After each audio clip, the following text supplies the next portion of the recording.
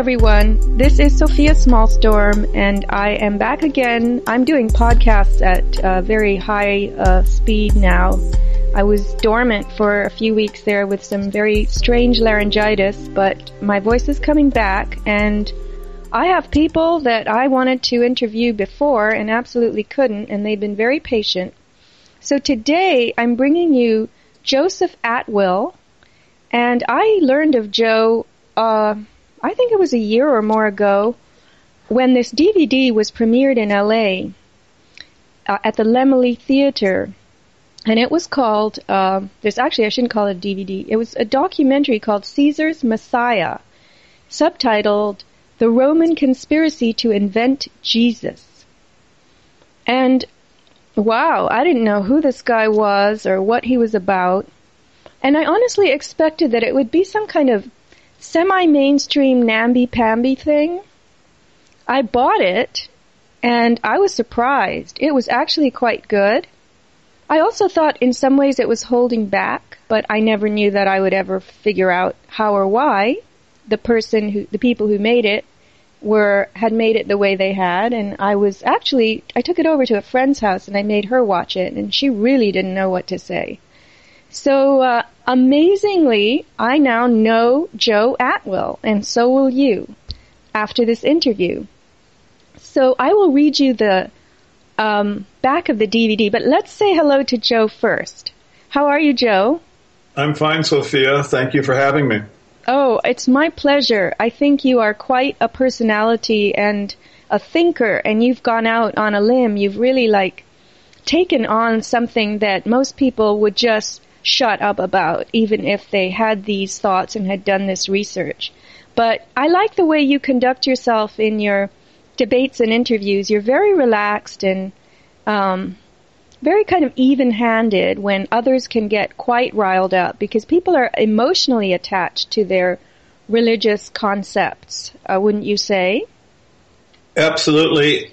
um, and I just take a, a, completely different position. I, I don't really, um, you know, have any uh, emotional connections to Christianity or, or, to any of the analysis that that you know is subsequent uh, to my uh, work in the Gospels, and I just base it on the actual text. I don't really um, need to go into fantasies or conjecture. I just try to keep my analysis um, within the, the text themselves, and, and therefore it's uh, I think I, am just at a, in a calmer place than a lot of people who uh, choose to debate uh, Christianity or Jesus Christ. Well, I um, will read just a little bit from the back of the DVD so people get an idea of how you explained the nature of that documentary. And then we can go from there because I would like to uh, get the conversation into the uh, counterculture. I had interviewed Dave McGowan recently, and uh, he was also writing. He has written extensively on this subject, but we're gonna. So we'll plan all this out. Sorry for me. Sorry about uh, blab blabbering around a little bit. Okay, so from the back of the DVD, Caesar's Messiah. Seven of today's most controversial Bible scholars reveal their shocking conclusions about the origins of Christianity.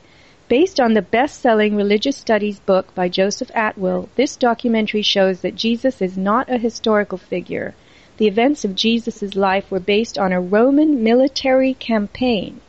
His supposed second coming refers to a historical event that already occurred, the teachings of Christ came from the ancient pagan mystery schools, and the Gospels were written by a family of Caesars and their supporters, who left us documents to prove it. Dissecting the history and literature of this time, the scholars show that the Gospels are a sophisticated pro-Roman, multi-layered allegorical text that could not have been written by simple Jewish fishermen.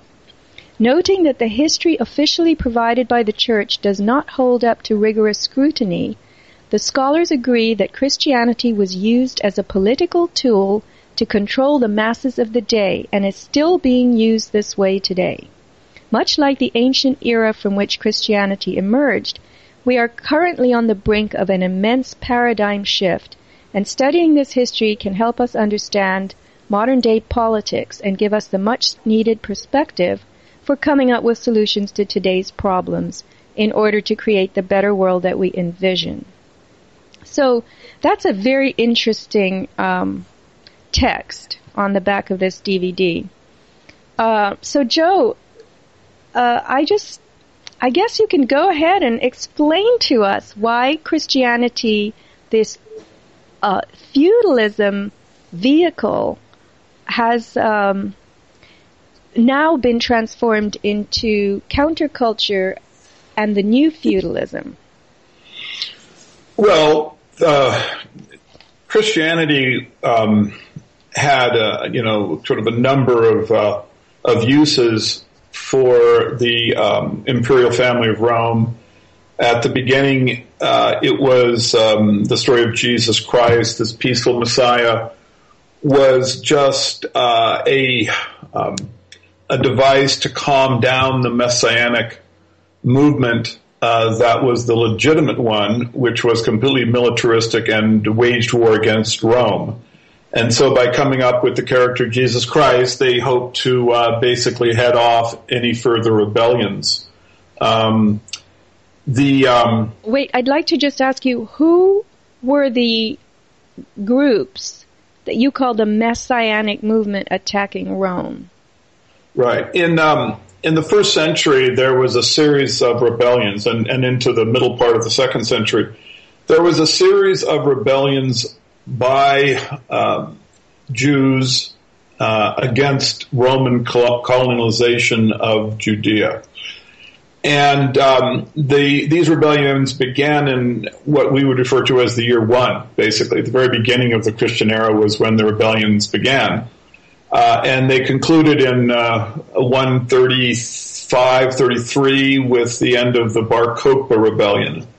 Um, the movement that waged war against Rome uh, was messianic. In other words, uh, simply looked to a leader who would have the kind of divine relationship um, to God that David had. Um, David was the original Messiah. He was the prototype. Uh, God gave him the ability to defeat Goliath, and this was what the uh, messianic zealots who wanted to end Roman control over Judea were looking for. So they were led by messiahs, or they looked to messiahs, and you can verify this by simply looking in the, in the Dead Sea Scrolls, which is legitimate Hebraic literature, and you can see um, that uh, they were looking for a military leader who uh, would be in the lineage of David.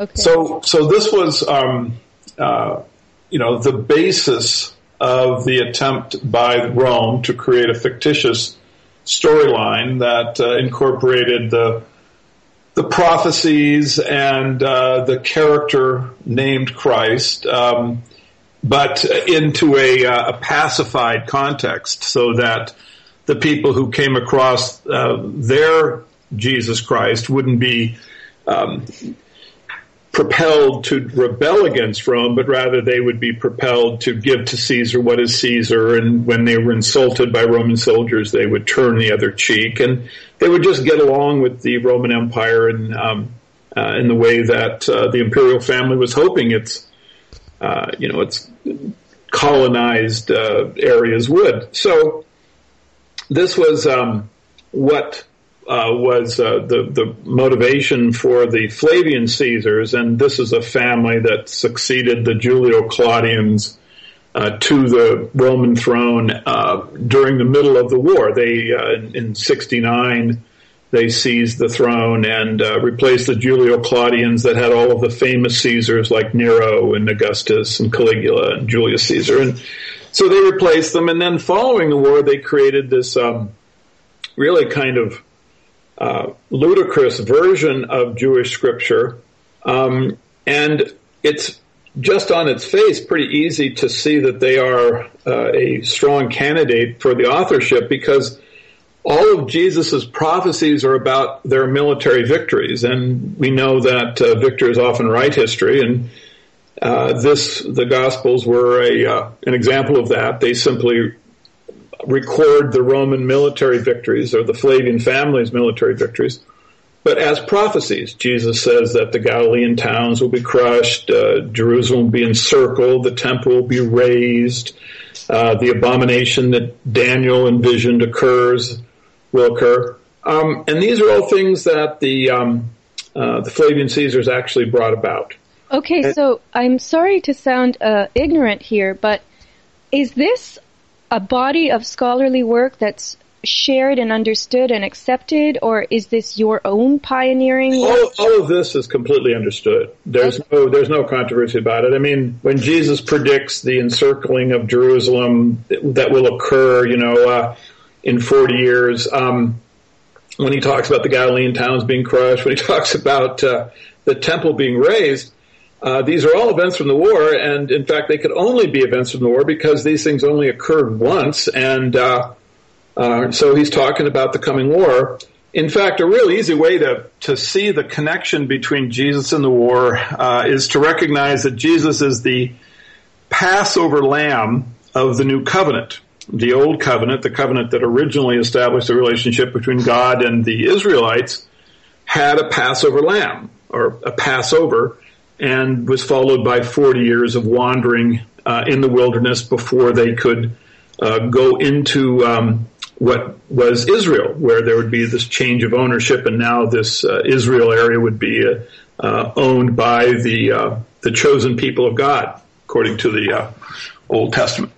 So um, now, when you look at Jesus, you see that he is a Passover. In fact, the whole symbolic framework of the Gospels is based on this key symbol that Jesus is going to be the Passover lamb of the new covenant uh, the book is often translated as New Testament, but in fact, the word is more accurately translated as covenant. So it's the new covenant. In other words, Jesus and his religion are replacing the old covenant uh, between God and the Israelites. And so now, uh, if you look at the dating of the um, of Jesus relative to the war, you can see that the 40 year cycle is precisely in place where Jesus is crucified on Passover 33 and then on Passover 73, 40 years exactly, uh, Masada falls and the war concludes.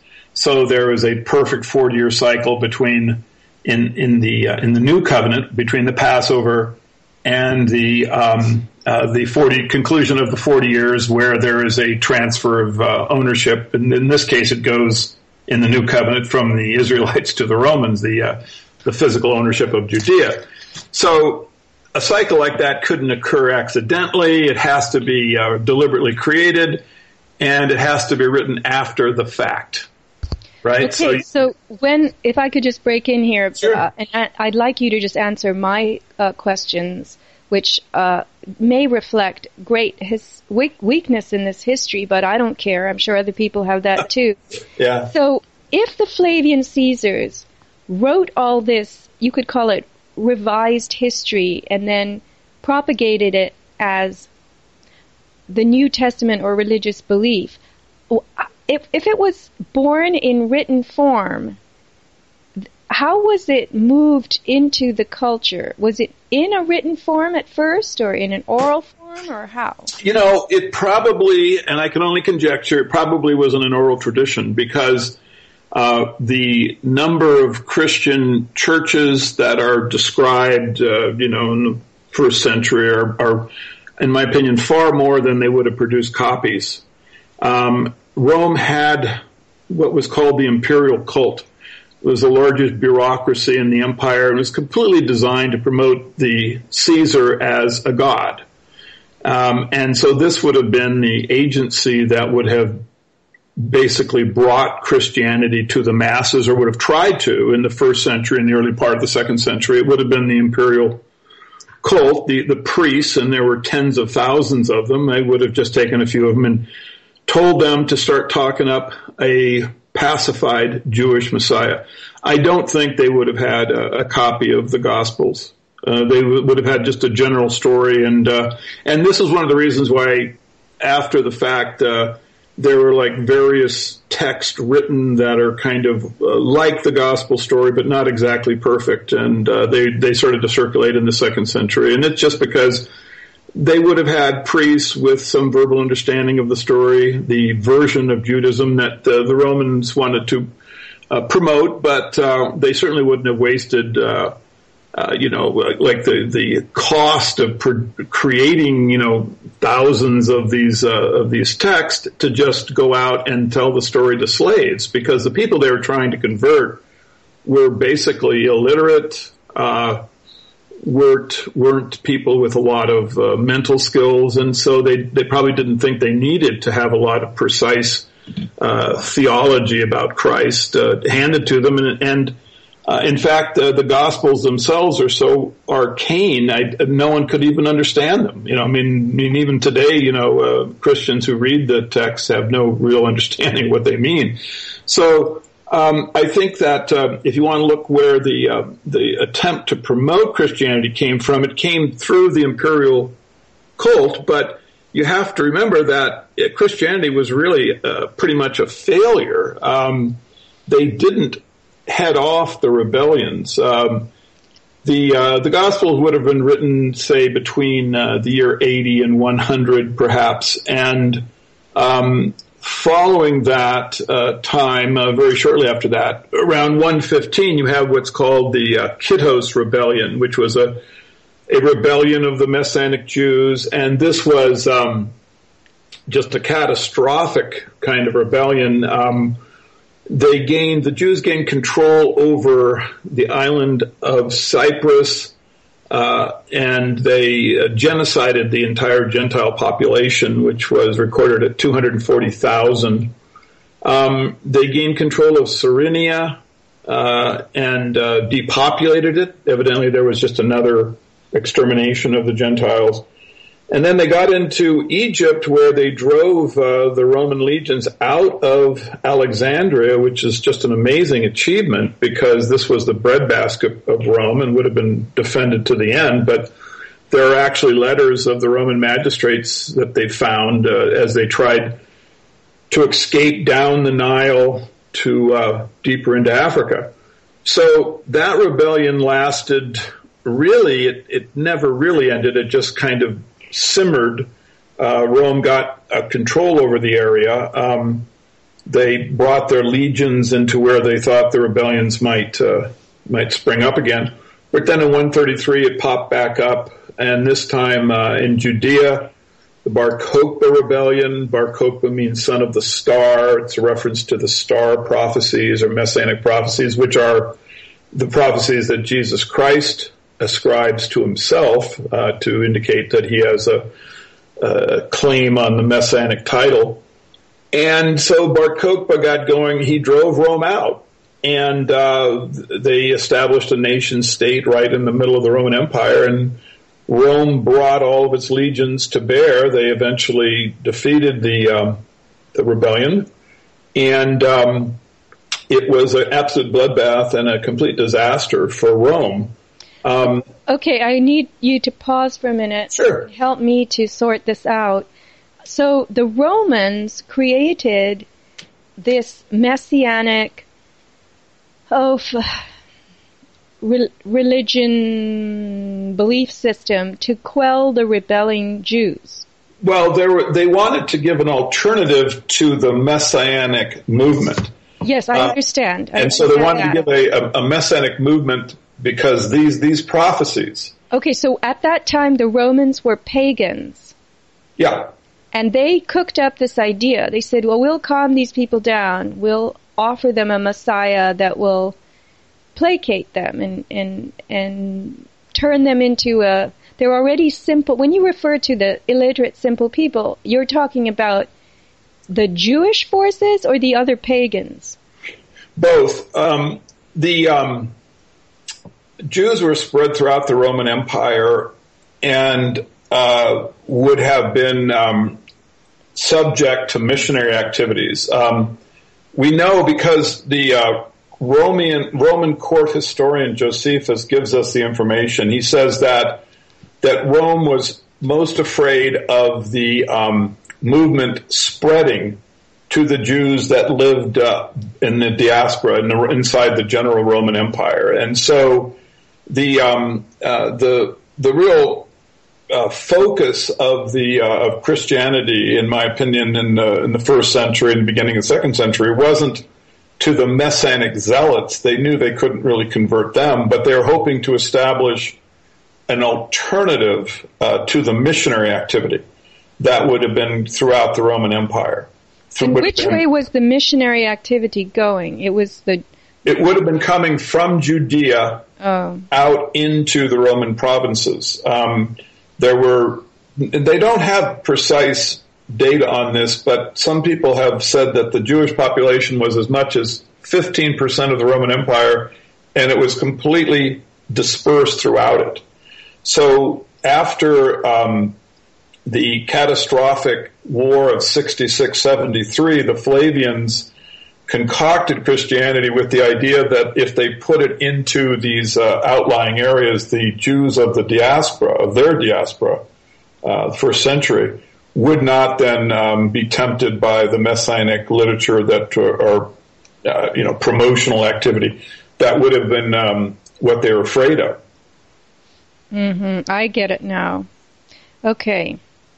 So uh, let's we can even jump forward a little bit and assume that at some point this um, effort became successful, and this thing called Christianity, which now I'll put in quotes because it was an invention, right. um, began to spread, and people began to believe in this Jesus of the New Testament, which was really the New Covenant. Um, and they uh, settled down and they became a slave class. This is the, you said to me once that this was all done to create a feudalistic population, a servile population. Right. Well, what happens is the, uh, the original purpose of Christianity, which is to slow down the militaristic messianic movement, is no longer in effect following the Bar Kokhba rebellion because basically at that point they'd actually crushed it. Um, they basically banned uh, Jews from Israel, and uh, Hadrian simply drove them out. Um, and this is the beginning of the diaspora.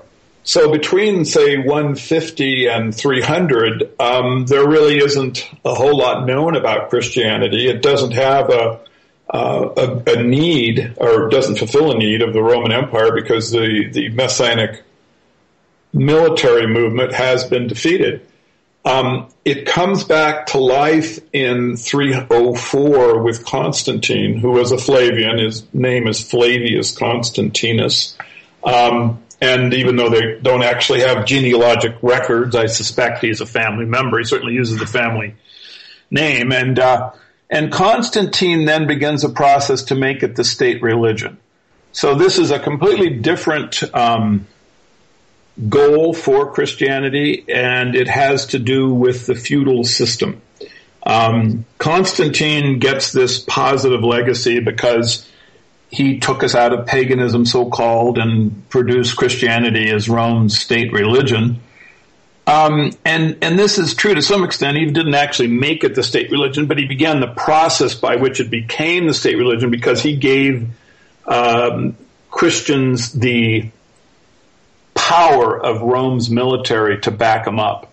You couldn't resist any longer um, the uh, Christians setting up churches, and they had uh, kind of a superior place in the Roman theology. And then within a few years, suddenly they started to destroy the other religions' temples. And then after a while, after about 70 years and a couple Caesars, suddenly it was made the state religion and you had to be Christian. So Constantine began this process, and um, the fact that um, uh, most people simply don't bring into uh, understanding Constantine's purpose for Christianity is the fact they don't recognize his other edicts. Constantine issued the uh, so-called Edict of Milan, which gave Christianity the power of the military, but he also issued a series of edicts which set up the feudal system. In other words, at the same time that he uh, began the process of making Christianity the state religion, he issued edicts which took away all ownership rights from uh, the Roman populations. You couldn't own land. you couldn't leave the land you were born on. You couldn't change the vocation. You had to have the same vocation that your father or mother had. Your children could be sold by the magistrates if they decided to populate some other area. And the uh, product of the farmland that you had could uh, be taken over by Rome. So this outlined and detailed the feudal system. And the feudal, the primary component of the feudal system would have been the serf. And that's just a, another word for slave. Serf means slave. And so Constantine set up the feudal system to work in conjunction with Christianity. Christianity gave his slave system a religious context. And it's very obvious when you look at all of these other edicts what the purpose of Christianity was. It was to try and get the slave to believe that God was responsible for his condition, and therefore there was no reason to rebel because a kind of worker's paradise would exist for the serf once he passed away and went to heaven. So this was using Christianity as mind control. Uh, it was to take away the desire to rebel. And in place of the um, passion for rebellion that uh, people experience when they're enslaved, they had the passion for Jesus. And this uh, system worked very well. Um, worked for 1500 years, more or less. Um, the slaves were accepting their plight as uh, uh inferior individuals that God had for some reason placed as uh, farm workers that, who didn't own anything. And uh, they were given Jesus, who they evidently uh, had these uh, worship feeling for. And uh, so the system worked just great for the imperial families, for the patrician class, for the uh, the ruling families. And um, what has happened is is that the uh, the title that Caesar held of Pontiff Maximus um, was given to the Pope. The Pope's actual legal designation is Pontiff Maximus, and so the um, the Caesar had simply changed titles so that the slave would not see him any longer as a military leader and an enslaver, but rather as a religious figure, a Pontiff Maximus who was representing Jesus.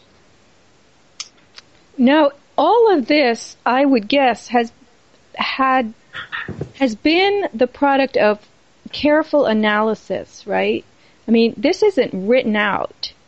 There are documents and there are records that uh, back all this up, but right. I mean, all someone has had to analyze all this. Yeah, and it's funny that that this isn't just sort of the straightforward way history is understood because um, the uh, the relationship between the so-called edicts against the coloni that uh, Constantine created to set up the feudal system are well known. Constantine is well understood by all historians to have created the feudal system. Um, and he is also known to have begun the uh, process of making Christianity the state religion.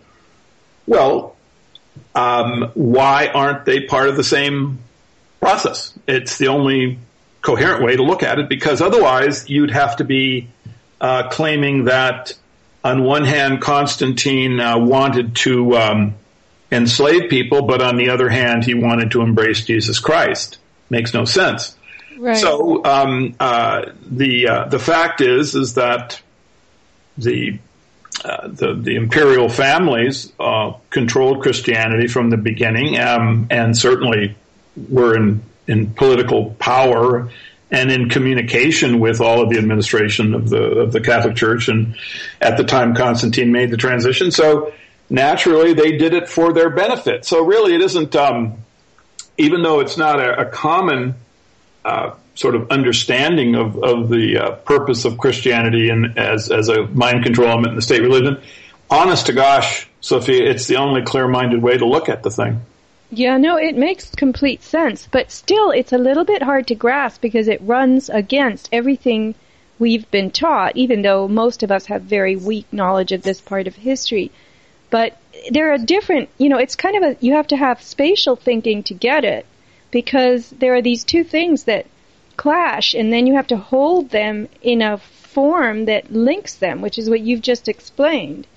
yeah, so what's, what's, what's, just to, to, interrupt, it's what's really effective is that they have been able to make the uh, image of Jesus Christ so iconic.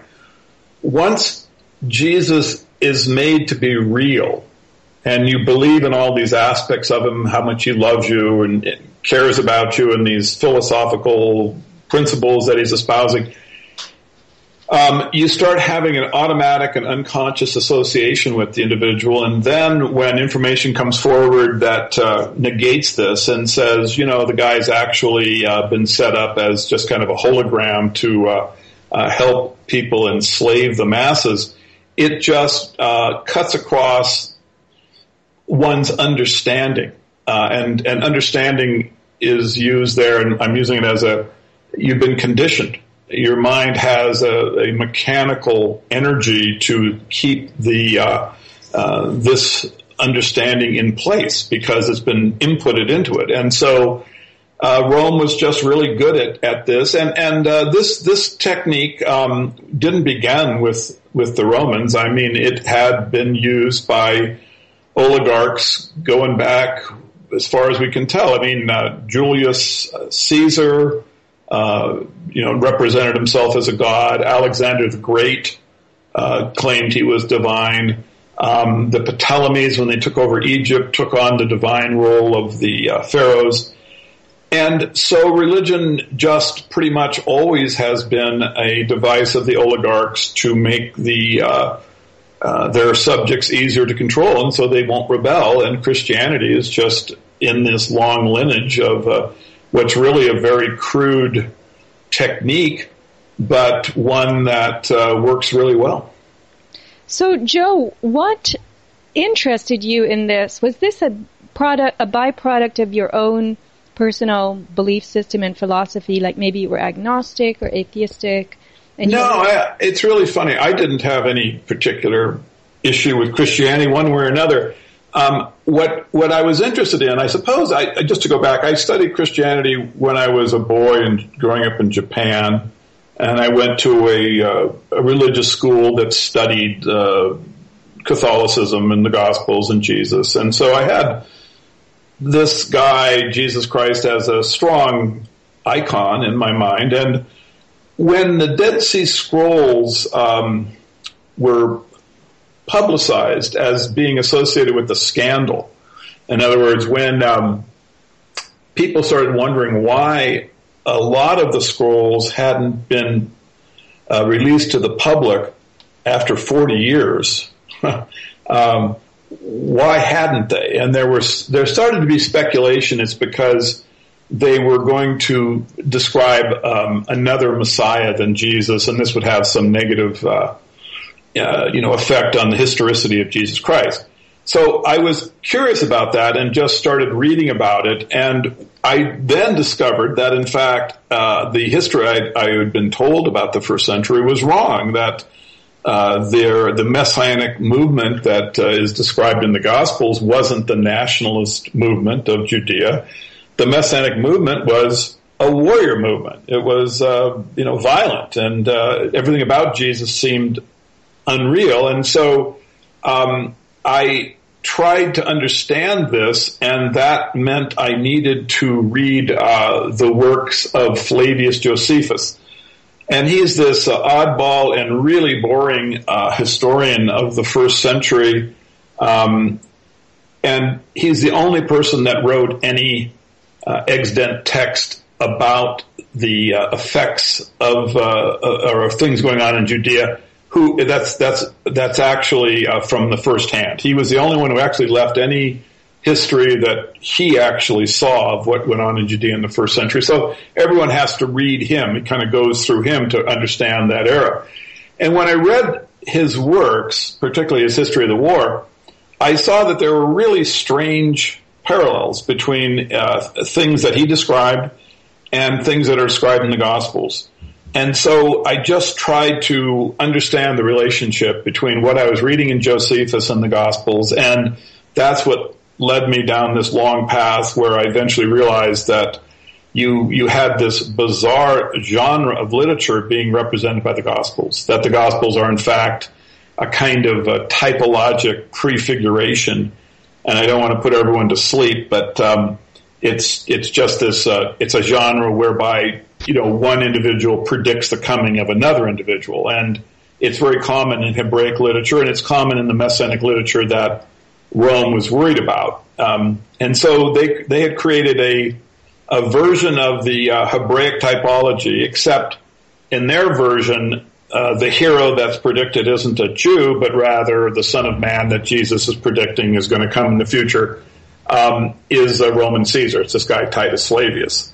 And tell us about Titus Flavius. I was going to ask you to bring him in. Sure. Um, okay, go ahead. He's he's the uh, he's the person who actually fulfilled the prophecies that Jesus predicted. He uh, crushed the Galilean towns. He encircles Jerusalem with a wall. He razed the temple, and then he um, brought about what Jesus had predicted: uh, the abomination of desolation. So Titus fulfilled the prophecies that Jesus made. Titus was the son of Vespasian, who was the original Caesar of the Flavian family. Um, Vespasian was deified by the Roman Senate, uh, so he was a god, and uh, this gave title Titus the title the Son of God. And when you see the um, the character Jesus and his relationship to his father in the gospel, this is basically just a um, a symbolic representation of the relationship between Titus and his father. If you go to uh, Rome, you'll see the Arch of Titus uh, next to the Colosseum.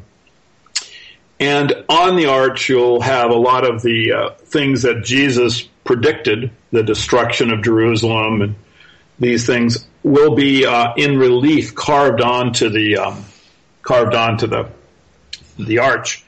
Um, and then you'll see an inscription which says that the arch is dedicated uh, from uh, God the Father, Vespasian, to the Son of God, Titus Flavius. So, so this was the theological lineup that the Flavians had, and that's the one. That's why they uh, they constructed that uh, situation in uh, uh, in the Gospels, and it's also why you have the absolute bizarre character, the Holy Ghost or Holy Spirit, in Christianity, because there was in fact, uh, two sons, and and so this uh, the Father, Son, and Holy Ghost. The Holy Ghost would have been the third Flavian, and they would have been sharing this uh, bizarre Godhead of Christianity, where you have three divine individuals somehow all fitting into into one entity.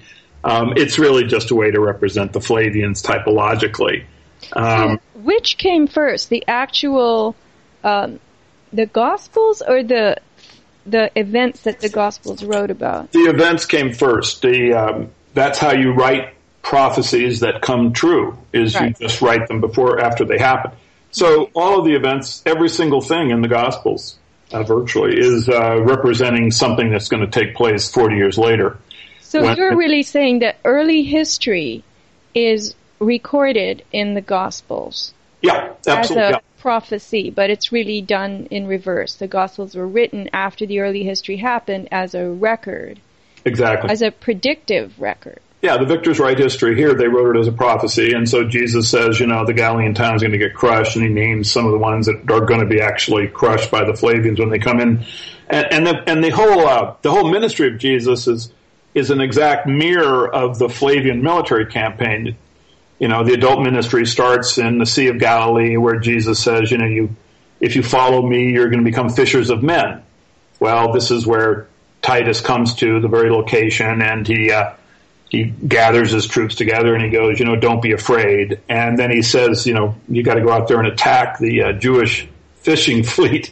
They do. They sink the boats, and then the men attempt to swim to safety, and the Romans catch them like fish, fishing for men. See, so the the um, the the the Gospels are they they have on their service narration a kind of um, you know spiritual kind of abstract nature, but if you actually look at them in terms of the reality of between the relationship between the ministry of Jesus and the, and the war, they're actually quite comical, funny.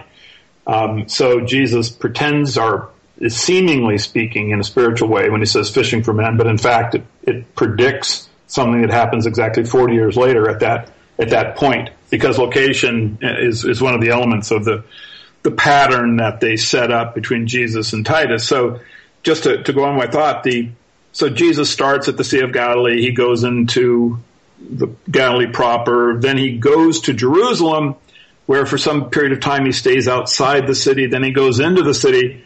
Then he comes out of the city where he has the crucifixion.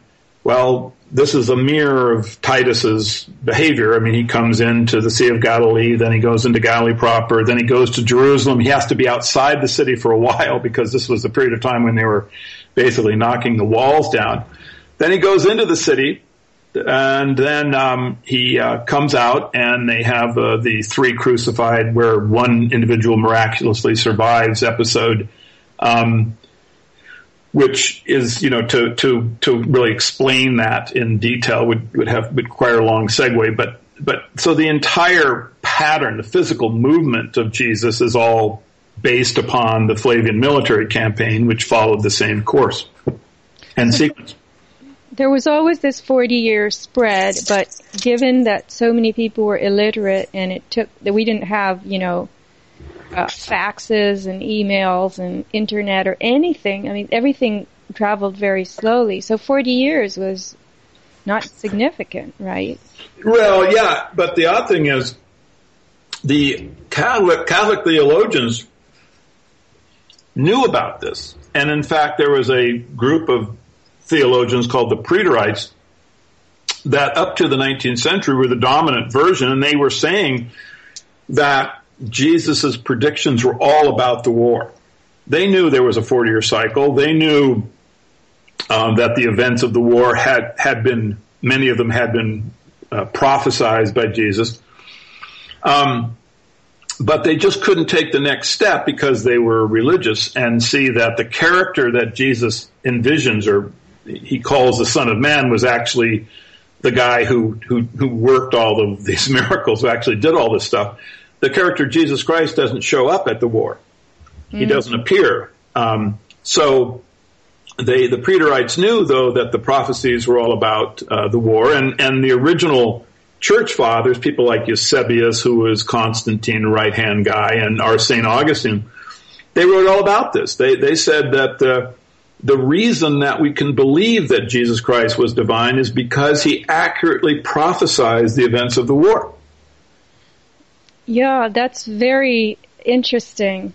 That's because that's exactly what cements it in the minds of most people, right? Right. Well, it was it was designed to work as a um, evidence of the character's divinity, but it was also supposed to lead people to understand that that the the most important character in the Gospels is not Jesus Christ.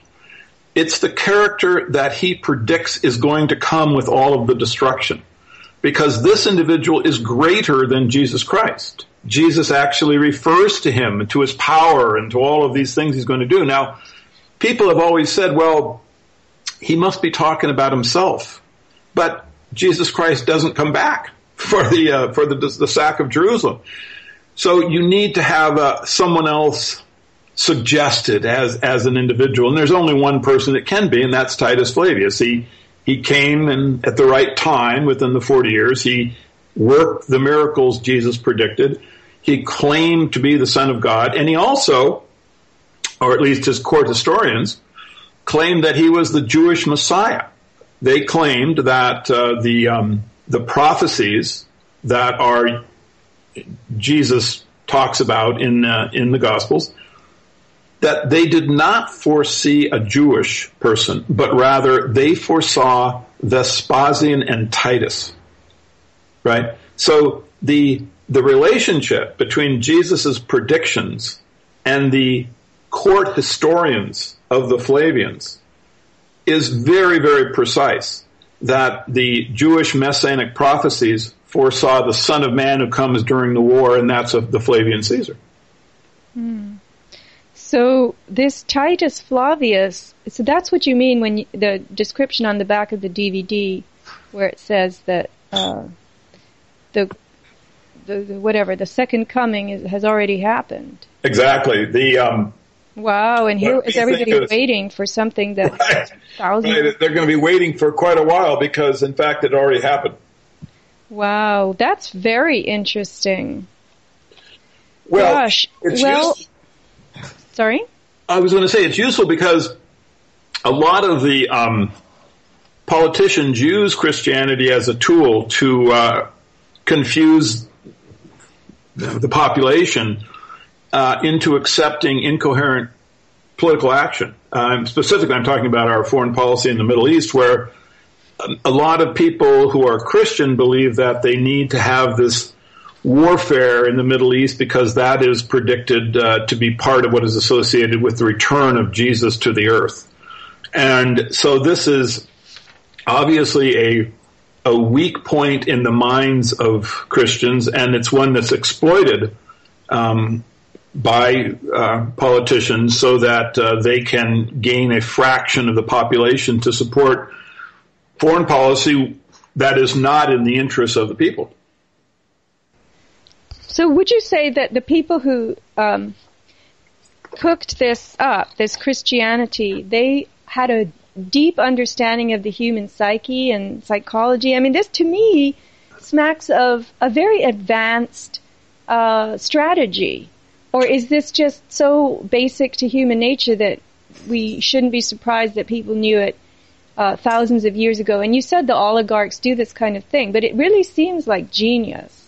Yeah, it is. They they had studied human nature. Um, this was not a subject that was released into into historical records. They kept it to themselves. But if you look at the Gospels closely in, in the right context, you can see that they really knew what they were doing as far as making the character someone that um, the population would love and be uh, influenced by.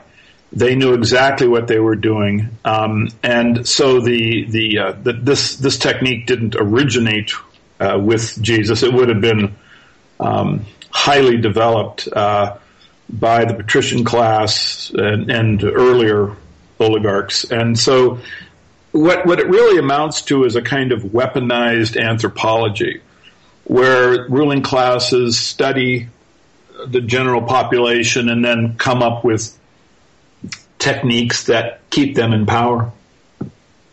Well, so if we go now to the second phase of this feudalism movement, you have written an essay that has gotten a lot of attention. Uh, the manufacturing of the deadhead. Yeah. And your discussion with me, in your discussion with me, you, you mentioned that this neo-feudalism is caused by the counterculture strategies. So right. it, it makes sense because we already have Christianity in place and it's, you know, followed by so many millions, billions of people everywhere. And it has certain moral, it has a moral code. And then suddenly comes this counterculture movement that has the exact opposite moral code and is defying this whole Christian um, this rock solid Christian tradition. And so tell us how that creates the new slave class. Well, it's a kind of a long story, but um, I, I, was often asked about uh, neo Christianity, the modern version, and that uh, has a lot of associations with uh, New Age theology. Um, New World Order sorts of concepts, and I was constantly being asked because I was uh, seen as a critic of Christianity, though I'm not sure I really uh, would have uh, characterized myself that, as that way. But that's what that's what they wanted to know, and so I was asked about it, and I I could determine that the uh, kind of the origin of the neo Christianity was this book called A Course in Miracles, um, and a Course in Miracles was uh, created by two individuals, um, Schucman and Thetford, and when I studied them, I was astounded to learn that they were cognitive psychologists, and they both worked for an organization called MK Ultra, which is a CIA project that had to do with basically studying uh, the uh, how to control human behavior uh, mental control, drugs, uh, torture, different things like this. And so this just struck me as being a little bit suspicious. And so when I went into, um, uh, you know, the the Course in Miracles and uh, um, this MK Ultra organization, I started to learn um, that it had odd connections into um, what was called the counterculture, and I knew that Christianity had been originally used by Constantine to debase the intellect. Right? If you get the serf to believe in Jesus, then he won't think about um, the rationale behind rebellion and how much more logical it would be to rebel than to obey. So when I looked at MK Ultra, even though it had been publicized as having been more or less designed to produce individual assassins, that's the most famous aspect of it. A guy named John Marks had written a book called The Manchurian Candidate, uh, which was seemingly exposing MK Ultra about how they would take an individual and could condition him to uh, respond to certain stimulus and then assassinate people. Well, um, studying it, I saw that actually it was more on a broad social scale. And and what I started to see were connections between the rock and roll, the beginning rock and roll um, movements, and uh, and MK Ultra, um, specifically uh, Grateful Dead. Um, Robert Hunter, the lyricist, had um, had been a, a, an employee of MK Ultra, and oddly enough, Ken Kesey, uh, who worked with the Grateful Dead to uh, produce these acid tests, had also been an MK Ultra employee. And then uh, strange patterns started to appear when I started to study this further, and and I found that uh, Stanley Owsley, the uh, individual who produced the LSD for the Grateful Dead and for Kesey, he had been he had admitted himself for three years almost uh, to St. Elizabeth's Hospital for apparently for some mental condition, but in fact, this hospital was one of the uh, uh the ones that conducted the MK Ultra training and experimentation. Um, and so I started to read a guy named Colin Ross. He's a psychiatrist. He had done a lot of research into MK Ultra because he had been tasked with trying to help people who had been exposed to their experimentations, the experimentation that MK Ultra did, particularly in Canada, where he's a psychiatrist, and uh, and so uh, then um, I began to communicate with Jan Irvin, who was basically on the same track. Um, and I won't explain, you know, how his trajectory worked, but we came kind of to the same conclusion that the counterculture was deliberately created. That um, uh, the uh, the Grateful Dead, the Beatles, uh, the Laurel Canyon music scene that erupted in Los Angeles, all of these things that promoted LSD and um, kind of mentally dropping out, turn on, tune in, drop out. That this was a an organized effort. That it was um, related to um, the idea of creating an easier to control population. It was actually just a giant experiment in crowd control conducted by the CIA. Um, now, I, I, started to um, to look at where does the anthropology come from that uh, MK Ultra was using, and this is when it all became clear to me. I found that there was an individual named Gregory Bateson famous anthropologist, father, or excuse me, husband of Margaret Mead. And there was a guy named Dr. David Price who wrote uh, a great book called Weaponizing Anthropology, which is, that's where I get the phrase when I use it, I'm borrowing it from him. Um, and he showed that Bateson, even though Bateson is famous as a humanist, a Buddhist, uh, you know, someone who took a lot of LSD purportedly, uh, found helped found Esalen, uh, you know, where there's the sex and uh, free love and free thinking supposedly, and he's this famous anthropologist. But Price had found something else about him. He found, using the Freedom of Information Act, a letter in which Bateson lays out the techniques of anthropologic science that the governments can use, and the, and the letter that that uh, Price is referencing is written by Bateson to the uh, head of the OSS, which becomes the CIA, right? So it's it's written to military intelligence, and he says, look, you know, he says we can control these people. I'm, I'm just going to roughly paraphrase, but he says that he references um, to have the most stable slave society, and I'm I'm going to use just for sake of brevity use broad stroke here, but for the sake, but he says, look, to have a more effective, you know, kind of col- colonial state, you need to establish what he calls a native revival, and he says this is how you can keep the populations from. Uh, uh, worrying about having uh, inferior technology and to accept their place as an inferior population, inferior people. And he, this I'm quoting, he said, uh, to, to have a superior people control an inferior people, you need to have the inferior people experience a native or archaic revival. In other words, you've got to make them think that what was in their past was the, the, the best life. And this is where they really want to go. They want to go into their folkloric tradition, their dance, their appearance, um, and and in the and, and Bateson references experiments. Amazing. He, he references experiments that had been done by the Russians on their Asiatic Indian populations that had determined all this. Now, these experiments that he references are not available to the population. Can't find them anywhere except in his the letter obtained by the Freedom of Information Act. But the Russians had conducted these experiments, and this population that they found that they could they could enslave them more easily by making them embrace their past, this native revival. This was where the term shaman come from. Shaman isn't an American term. It doesn't come from the Americas. It comes from Asia. This was the culture that had it, and that culture in the past had used the psilocybin mushroom.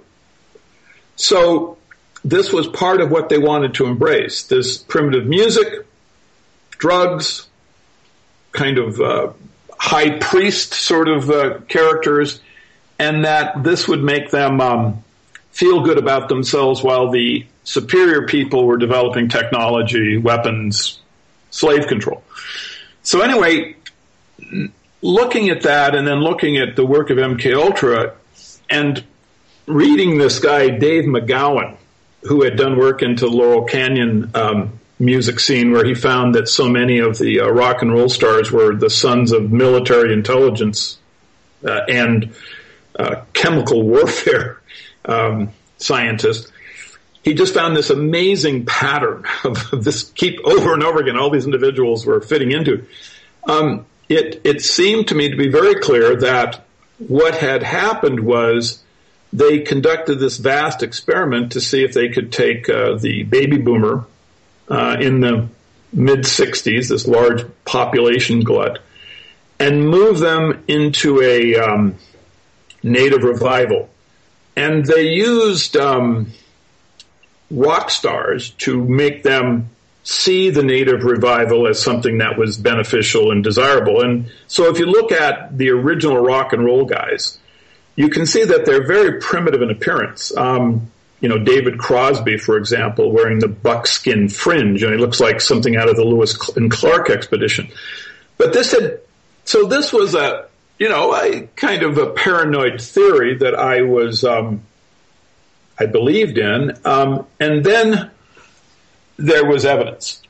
Um, Colin Ross had discovered that the original trip that set off the psychedelic drugs in the United States, which was conducted by a guy named Gordon Wasson, had in fact been an MK Ultra subproject. He actually got the documents, and they exist, and we present them in uh, the, the paper manufacturing the Deadhead.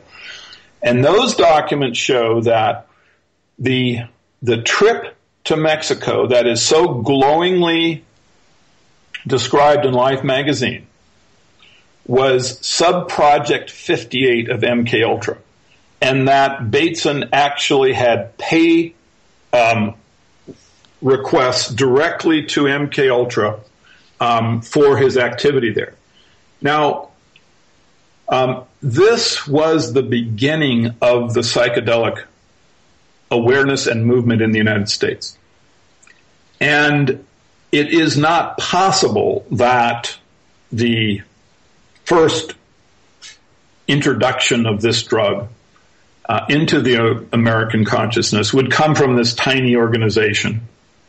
And then also the original rock and roll groups would also have this direct connection to it. This wouldn't be accidental. So this was, in my opinion, just absolutely clear evidence.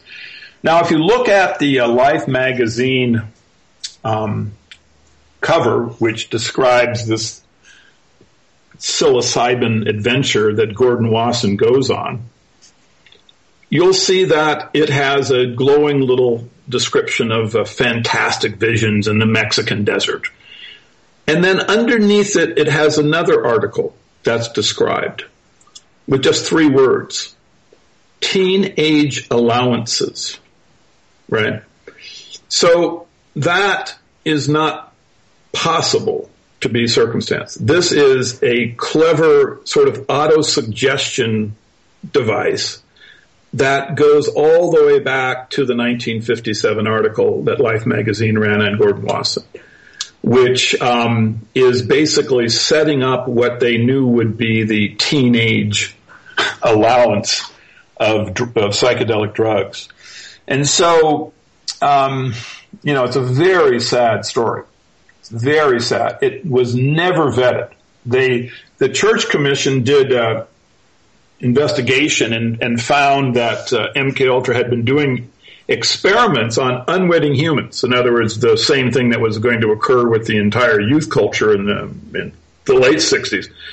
They had been doing all these experiments on unwitting um, victims. They would give LSD to people who didn't know they were being given the drug. And this, of course, was in San Francisco, right?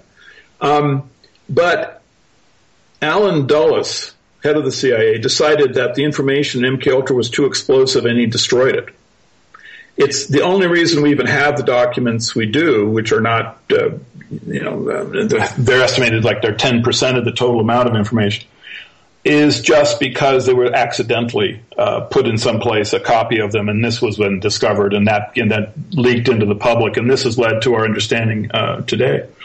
So it's um, it's a very sad and and uh, disturbing story because the CIA should have, during the Church Commission, if they wanted to stop this activity, they should have come clean. But the fact that they didn't uh, indicates that they are continuing, and that obviously at this point we're probably dealing with um, with other techniques of uh, population control. Um, I think um, uh, I've said in, many times that you know I'm very worried about two things in our media. One is all of these zombie movies that they have produced, because I think that this could be normalizing uh, kind of an apocalyptic plague or some sort of uh, uh, thing that uh, illness, sickness, vaccine, or something that uh, could be used to reduce the population dramatically. Um, and this could be kind of a you know a normalization of the concept. And I'm also concerned by all of the survivor shows. I mean, if you look at television, there's a, these dozens of these, you know, survivors, uh, you know, dual survivor. And now they even have uh, Naked and Afraid, where they take a couple with no clothes and drop them in some wilderness area and let them just see if they can survive for 21 days. And they call it Naked and Afraid. And I, I think that this, you know, is in fact uh, unfortunately, a kind of preparation, a mental preparation to normalize um, what the government would like to see. Uh, they really want to see a kind of delta uh, non-technologic population are, or one that they can move in that direction as far as possible. And so this is why you, they they uh, they assist in the production of all these kinds of shows. Well, um, you had mentioned that the LSD experiments were the sort of crux of this manufacturing of a a, a deadhead. Yeah, a de- the deadhead. A, a uh, I mean, they in their own way were kind of zombified, right? And well, yeah, I don't really know. You know, um, Terence McKenna, who actually wrote a book called The Native Archaic Revival, I think, and where he describes, you know, returning to the feudal system as a good idea. And um, in, in in tapes, he talks about, you know, where he's you know, working, you know, for some kind of agency, and he's, you know, they're they're very mysterious thing. But he promoted what he called a heroic dose, where people would take this massive amount of, I believe it's ayahuasca. And I'm not familiar. I don't use these drugs, and I haven't read his books, but I just seen an excerpt from it. So he he, he promotes this what he calls heroic dose, but then later it was determined that he didn't take psychedelic drugs. See, it it's what I would call a lifetime. He was a lifetime actor and this is the phrase that I think, you know, has to go along with weaponizing or weaponized anthropology. There's two phrases I would love to see enter the public lexicon. I just wish everybody knew about them and used them and, and just, you know, it was just a normal idea. Weaponized anthropology um, and lifetime actor. And a really good example of a lifetime actor is Gordon Wasson, Gregory Bateson. I mean, Bateson representing himself as this humanist, right? So you just have this wonderful kind of thing on one hand, and the other hand, he's writing uh, details how to have a more effective slave state. I think if you look at the Grateful Dead, you'll see that you have connections to MK Ultra and also into the Bohemian Grove. I think at least two of the members are have admitted that they are members of the secret society, and I think that that's um, telling. And I think that that suggests that look, you're dealing not with some, you know, someone who who is honest in his present rep- public representation, but rather, you know, uh, someone who's involved with the oligarchs, and and he just has this um, actor persona because that makes the propaganda effective. In black propaganda, which was the science that Gregory Bateson was developing in World War II. In black propaganda, the critical thing is trust. The, the victim of the black propaganda has to trust that the person who's giving him the information is sincere and trustworthy. You see, so this is where the lifetime actor concept comes from, is they had to create personas that would be trusted by the uh, the population that would be the victims. So the Grateful Dead come across as these filthy but lovable, um, primitive individuals with love and everything. And of course, they're giving away hundreds of thousands of tabs of LSD for free. Now, where do they come up with the dough to do that? But they never seem to get arrested, but they just keep having these tours. The drugs keep going out. Well, I look at them as lifetime actors. That's my my understanding of them. Um, when I look at Gordon Wasson and his claims of, about the, the, drugs, I'm sure I'm dealing with lifetime actors. Same is true with Bateson. But another person who's obviously a lifetime actor is Aldous Huxley. Huxley goes on Mike Wallace, and it's a famous YouTube interview where he talks about how worried he is that the governments will one day have drugs that can control their populations. He's so worried about this.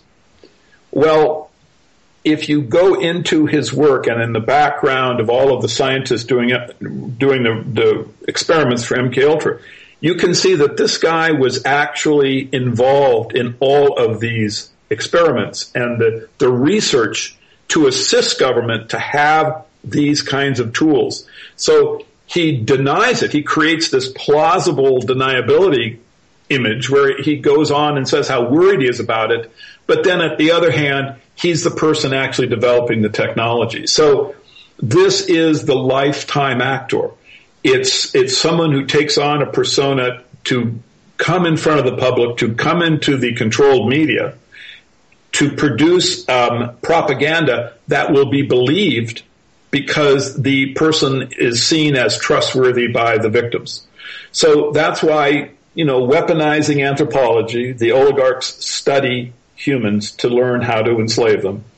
And lifetime actor, the critical uh, element in their uh, um, control uh, and then their effective use of black propaganda is that they create these trustworthy individuals to promote, uh, in, in the case of the counterculture, to promote um, primitive lifestyles and LSD. I mean, you look at Jim Morrison. You know, he's uh, writing about the crystal ship and all his promotion about LSD, and supposedly he's taking it every day, and and uh, you know he he's leading people into the archaic revival, into the the drug use and the primitive uh, lifestyle. He claims that uh, he was at a, some kind of a car accident when he was a kid, and an Indian was dead, and the Indian spirit got into him. You know, these are these are the stories. This this makes him trustworthy and believable. But on the other side, his father is Admiral Morrison. Now, this guy is in charge of the uh, naval uh, activity. He's an admiral in charge of the naval activity that was the Gulf of Tonkin episode. Right. Right. right. So now that's the other side. That's that to me. This is the reality. You have on one side you have the actor. On the other hand, when you start to dig in, you see the truth. Right. I mean, it could always be argued that the kid rebelled and he went the opposite way, but I don't think that's the case. But what I was getting at earlier when I said that the turn on, um, turn on, tune in, drop out, uh, that is a that's a Grateful Dead uh, slogan, right? It comes from it comes from Timothy Leary, and it was created for him by Marshall McLuhan, um, the specialist in uh, media control of populations. Okay, but it was employed in the rock and roll movement. Sure. And by lifetime actors, as you say. But that in itself was pushing people into a zombified state. Because if you turn on, you tune in, and you drop out, that's what you are. You're not engaged. And so I think that when you exactly. mentioned the, you know, um, proliferation of these zombie movies, it, if I can liken it to some of my own thinking and work, um, we are being neurologically destroyed very systematically, and are we already have brain fog. I mean, I how many times do I go upstairs, downstairs, and I cannot even remember what I came upstairs or downstairs for, and I have to do it all over again, um, and then I remember. So everybody has some kind of amnesia operating all the time, and we're just not concentrating well. And these are all also uh, this is part and parcel of our culture. We're interrupted so much that we can't really do anything without even interrupting ourselves because that's the way that we work now. But overall, given the assault by vaccines, the uh, neurological destruction by radiation of all sorts, wireless in particular, which is now our constant companion, we are de- decaying. We are falling apart. We are degenerating. And there will be probably a great number of people who will malfunction very badly um, in this regard and will be not able to, you know, take care of themselves. And maybe they will be referred to as the zombie class. It won't just be a drug induced or, you know, having your mind in another place because we don't live in our present world anymore. We're always living in what I call the second dimension. I see people driving. I saw a truck driver. He had a flatbed tro- tow truck yesterday, and he was zipping so fast between red lights, just barreling, accelerating this very heavy, large truck with a bad brake system because it made horrible noise every time he stopped. And I finally pulled up next to him, and do you know what he had been doing? Texting the whole time. Sure. And this was why he wasn't paying any attention to his driving. And he didn't care because he was in this other world, this 2D world. Um, and I think that, so our whole, the way we operate in our lives is going to change. And some of us will be sick enough that we will be zombified. Others of us will be distracted, distracted enough, you know, and then the survivor issue, yes, is going to be a necessity. We're going to have to struggle through this. And uh, if they cut our amenities, if there are, you know, calamities and we're all herded into the Agenda 21 tiny little uh, habitats, and apparently our sub- suburban roads are all destined to go to gravel, so we won't drive our cars, and, you know, we're going to be in a mode of despair. People are going to end up desperate, clawing each other perhaps. Maybe they'll turn on each other. Sure, that's all quite possible. Yeah, so the I guess in some ways the neo-feudalism, as you mentioned or discussed, refers to people who are content to live simply and in primitive ways and are thereby um, m- more easily governed. Uh, I mean, if you're susceptible to one trend, you're probably going to be susceptible to another one too. You know, you'll just take the trends as they are imposed on you. But um, it seems to me that there's also a push toward de- destitution, e- economic destitution. Sure, of course. Well, I mean, the um, the world of the future, as envisioned by the oligarchs, could well be the one in uh, you know that is uh, shown in Naked Survivor, where uh, you know to make fire you have to rub sticks together.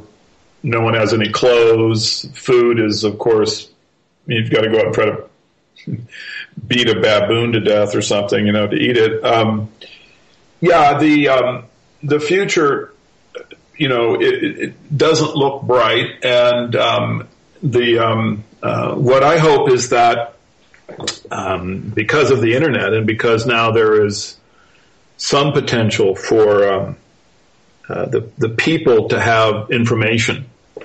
Um, you know, we've we've been subjected to a control media from the very beginning, from the very beginning of television. I think from radio as well. I mean, it's these things have been crafted to uh, implement control and to dumb down to create a delta class that's easily controlled. So we have suffered, and um, the effects that uh, you know from the chemicals and from the the uh, miseducation and from so many things. You know, we we've uh, been weakened and attacked, and and now there is the internet, and um, the hope whatever degree it is, um, is that now people will um, abandon the uh, mainstream media, the controlled media, and start to use the internet for information. And this is healthy in so many ways. And one of them is that uh, because of the different um, perspectives on events, people will start to be forced to think about them and then hopefully the um, one of the things that has been taken away from us, uh, the uh, which is logical thinking, will will start to come back. Um, you know, I, I, I believe that um, one of the religious elements that that could exist would have to do with our own senses and with basically with logical thought. I think that would have been kind of the religion of the oligarchs in the ancient days. I'm not sure about this, but that's my opinion. And it would be wonderful to have this return at this point because we really need to stop being bamboozled. You know, the, the, the false flags, the, uh, the terror events, the, uh, um, you know, the, the terror, uh, um, organizations, you know, that are, I mean, these things should be able to be subjected to a scrutiny by individuals uh, that is uh, based in reason and logic and evidence. And um, if if that was done, then they wouldn't have the effect that the government wishes for them to have upon us. So. So this was this was kind of a natural thing, and I, I just wanted to mention that it's encouraging to see uh, some of the statistics indicating that there's been a real exodus from mainstream media, that more and more people are using the internet to get information. They don't turn on CNN, Bloomberg, Fox News, CS, CBS, these kinds of stuff.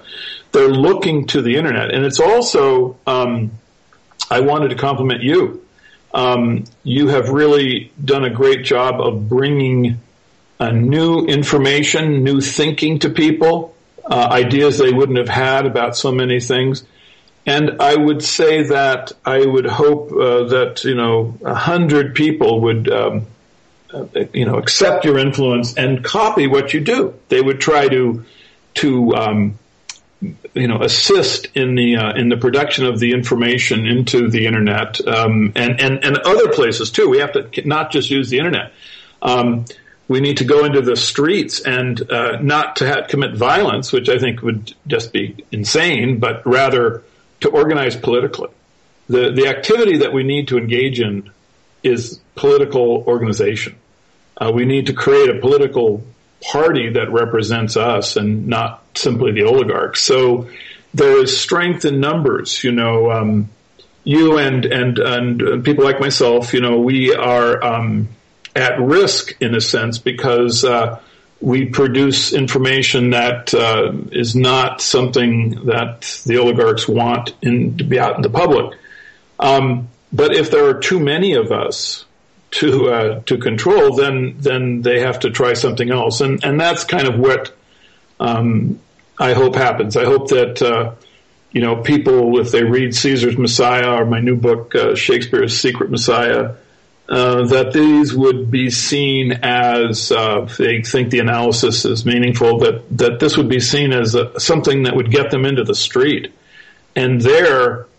What I hope they do is political activity. We need a new political party um, we need organization, and a lot of the tools are in place. The situation has interesting possibilities right now because obviously the social networks were designed to enslave us, but they can now be used against the oligarchs because they would permit massively, um, uh, you know, massive exchanges of information among large group, and to have um, organization set up where where information could be uh, you know uh, exchanged very quickly. I mean, for example, say there was a suspicious terrorist activity in one city, and in that city there were thousands of individuals that were used to analyzing and reporting uh, information that they came up with, and this then became the source of information for the public. Um, if it was found that uh, there was suspicion in back of the activity, then this could create political energy. We could see that, wait a second, we're being attacked, and to since we are attacked, we need to defend ourselves. And the only way to do that is through creating a strong political counteract. Yeah, you know, I I hope people can get themselves together and uh, work in a kind of cohesion to counter all this. But I think that what's needed first and foremost is a whole new consciousness, you know, and then to put that consciousness into motion. So the internet certainly helps. There's so much infiltration into um, good information, and it can be converted just by somebody repeating it in a slightly different form. It can be converted into bad information or disinformation or controlled information, opposition information. I don't know. It's sure. very tricky, Joe. And I oh, I couldn't agree more. But I just think that it's at this point we need to take some chances and. Um, you know, so I, I am in, I, I promote and I'm in favor of uh, trying to have uh, political active action. I also think, as far as you know, creating a you know, a, a, new understanding, a new consciousness. I'm completely in favor of that too. I, I just hope they're not exclusive and that uh, both things can occur and, and, quickly. Right. And if people can, you know, for instance, get your film, I believe the website is Caesar's Messiah Doc. Dot com. yeah, or go to CaesarsMessiah.com and you'll you'll end up at the same place. And yeah, the, the, the documentary is very easy to watch. It was made by Fritz Heede, who's a I think a really talented uh, filmmaker, and it's it's not unpleasant. Uh, people typically have real good experiences with it, so you can get good information there. Um, and uh, you know, just uh, to, to it, it, the purpose of the books really is just to create an interest in uh, the, the, possibility of a different history having occurred. Uh, well, sure, the likelihood that a different history occurred. Right. What I liked about your film was it wasn't really intrusive. It was, um, you know, it was what it was, and it was very thoroughly presented in a very high quality production. And I offer it to people as food for thought. Just think about this and really take it in. Right, and I, that's what I would say too. And uh, you know, I just hope that they would take it in as food for thought, and it would just be part of what propels us um, to a new consciousness and to uh, um, a different uh, political direction. Yeah, we're going to have to go in layers here, in sta- steps and stages. But right. the first stage is evaluating what you've grown up with and what you've, you know, adopted as yours when it wasn't even your belief system. It came through your parents and all your antecedents and you just accepted it, you know? And that, and to see that that is really a kind of restrictive model that we have grown up in. The whole, uh, the, I guess, what's the, the word for religion? The, there's another, it's almost like edicts or the, uh, it's a faith system, you know, or yeah. Just it, it's just a, a it's a um, it, it, it's a system of understanding your position in the world um, that was created by people who have uh, ill intent in terms of uh, your freedom and uh, your thinking ability. Yeah, you know, I even looked at prayer in um, the recent past and realize that when you pray to have something changed in your life, you're you're ask, you're beseeching something outside yourself to change what's going on with you. But why don't we try to change it ourselves? Why don't we say, okay, the control is in me. I can't just get on my knees and externalize my own power like this, you know? Sure. I mean, I mean, if you can get someone to pray, you've got them because right. their their minds are so um, irrational that uh, they can they're essentially defenseless against uh, oligarchs who are using weaponized anthropology. I mean, just look at the difference.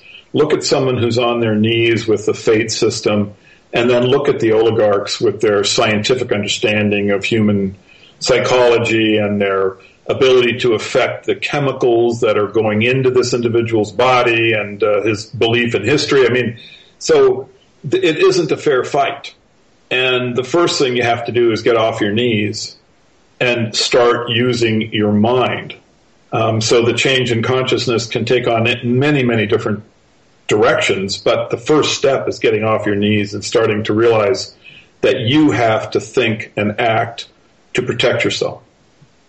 Right. And that sometimes very, you know, what seems like coincidence or miracles, they can occur regardless, and you can attribute them to whatever you want.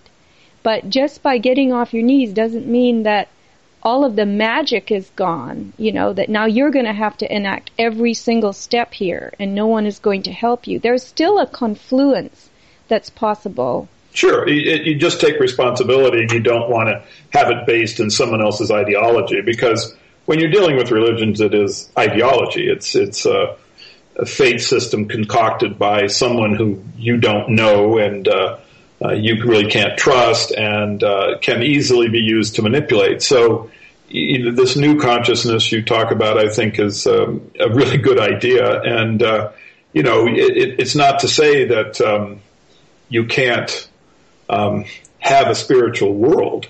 It's just that it has to be one that you participate in, and not one that is uh, given to you as a cage.